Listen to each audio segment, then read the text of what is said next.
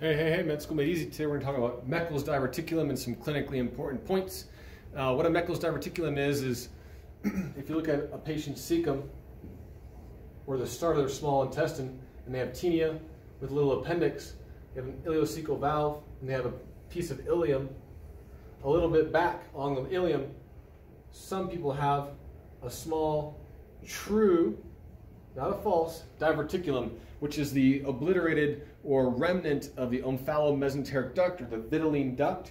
What this is, is this used to connect uh, the patient's midgut and small intestine to the, uh, to the embryo or to the uh, uh amniotic sac in development. And uh, most people this regresses, but in some people it sticks around. But uh, in any case, the way they remember um, the different points is the rule of twos, which is why I wrote it up there. And, and this is really helpful when you try and remember the higher points of Meckel's diverticulum.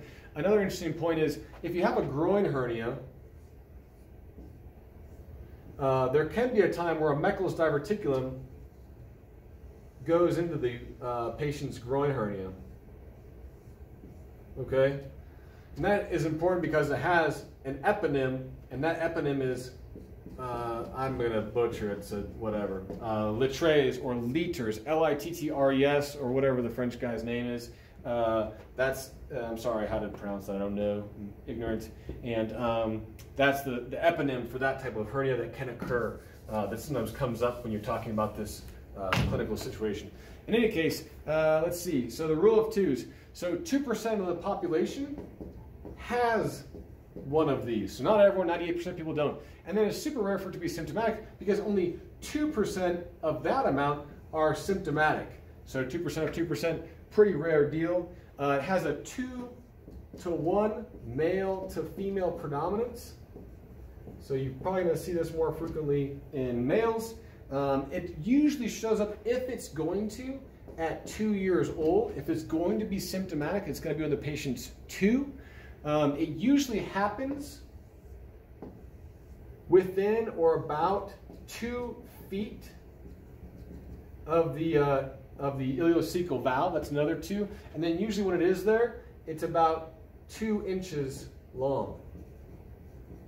Uh, so it's two inches long, it's two feet away. Um, there's classically two types of tissue that show up.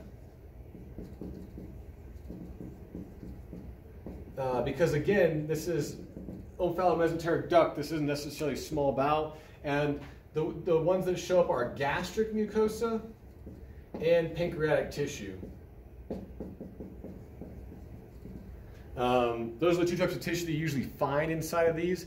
That's clinically important for a couple different reasons. Number one, the gastric mucosa that's there in approximately 60% of these diverticulum um, can be easily found using a technetium scan. A lot of people call it a Meckel scan. So, uh, you know, you, you send someone to nuclear medicine and they get a cross-sectional imaging that involves uh, technetium in their bloodstream that then preferentially gets picked up by the gastric mucosa so you can see if the patient has a Meckel's or not, if, they, if you're unclear about the diagnosis.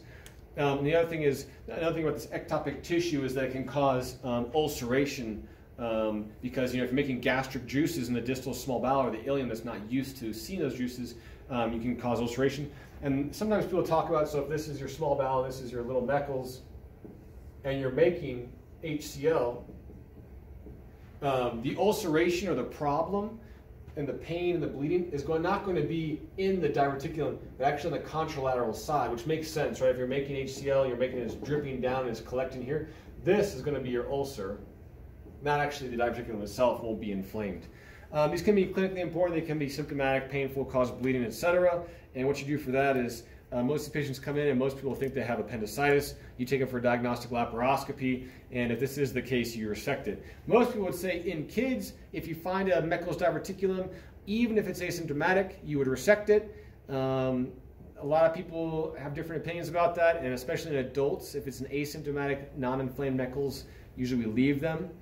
Um, but uh, in any case, uh, that's Meckel's diverticulum. Just remember rule of twos, and you're pretty much halfway there. So, all right, guys, Made Easy. Thanks for watching.